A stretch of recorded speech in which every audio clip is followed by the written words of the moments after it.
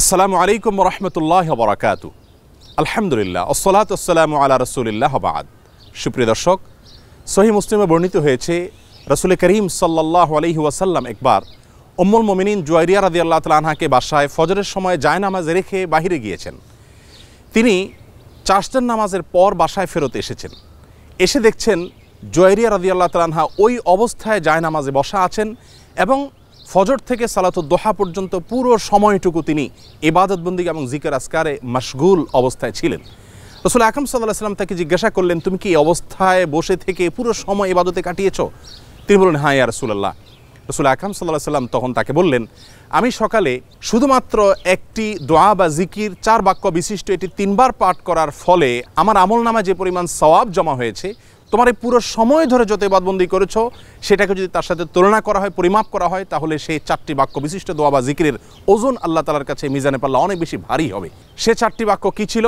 সুবহান আল্লাহ হামদিহি আদাদা খালকি ওয়ারেদা নাফসি ওয়াজিনাতে আরশি ওয়ামিদাদা কালিমাতি। আবারও বলছি সুবহান আল্লাহ হামদি আদাদা খালকি ওয়ারিদা নাফসি ওয়াজিনাতে আরশিহি ওয়ামিদাদা কালিমাতি। যার অর্থ হলো সুবহান আল্লাহ হামদিহি আদাদা খালকি অর্থাৎ আমি আল্লাহর প্রশংসা, মাখা পবিত্রতা জ্ঞাপন করছি, তার যত সৃষ্টি আছে, সেই সৃষ্টির সংখ্যার সমপরিমাণে।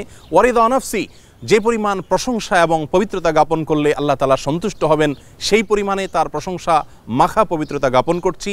ওয়াজিনাতে আরশি, তার আরসের ওজন সময় পরিমাণে ওয়ামিদাদা কালিমাতিহি, এবং আল্লাহর প্রশংসা এবং গণকীর্তনের জন্য যত পরিমাণ বাক্য ব্যবহার করতে হবে, তার সংখ্যার সম পরিমাণে আল্লাহর প্রশংসা মাখা পবিত্রতা জ্ঞাপন করছি।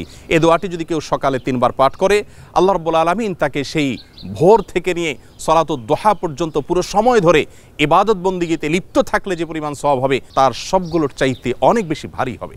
অতএব কেউ যদি সকালের এই পুরো সময়টুকু ইবাদ বন্দিগিতে জিকিরে, তেলাওয়াতে মাসগুল থাকেন, সেই সাথে এই দোয়াটি সকালে তিনবার পাঠ করেন, তাহলে আল্লাহ রব্বুল আলমিনের কাছে তার কি পরিমাণ সওয়াবের পাহাড় জমা হতে পারে। আসুন, এ দোয়াটি সারা জীবনের জন্য অবধারিত করে নিই। আল্লাহ রব্বুল আলমিন আমাদের সকলকে ইবাদত বন্দিগি এবং নেকামলের ক্ষেত্রে প্রতিযোগিতায় অবতীর্ণ হওয়ার তৌফিক দান করুন। আসসালামু আলাইকুম রহমতুল্লাহ বরাকাতু